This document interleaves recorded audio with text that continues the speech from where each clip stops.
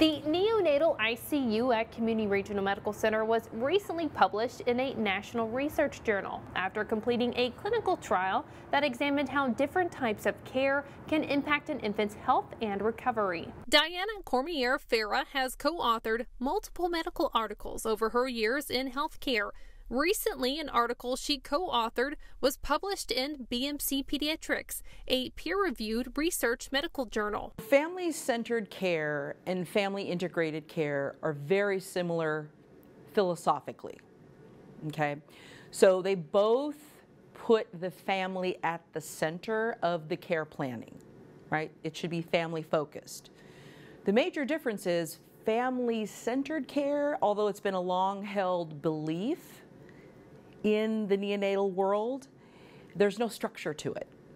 So there's a vast difference in how it's interpreted in actual care. This specific study enrolled infants from three different types of NICUs to receive usual family centered care or mobile family integrated care. So, our study was the first family integrated care study in the United States. The objective was to compare the effects of both care approaches on growth and major morbidities of preterm infants. We were able to show that that care model, family integrated care, when you provide specific opportunities to allow parents to engage, you're going to have improved outcomes for the babies. A mobile app helped bridge the gap for parents, allowing them to stay engaged with education, classes, and even journaling. What was important about that app is the involvement of graduate parents in the development.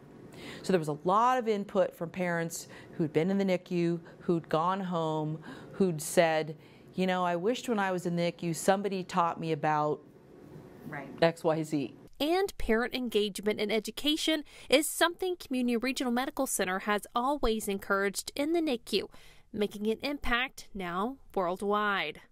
What we did find is, with our results, that parents who took part in classes and parents who were present at the bedside to participate in clinical rounding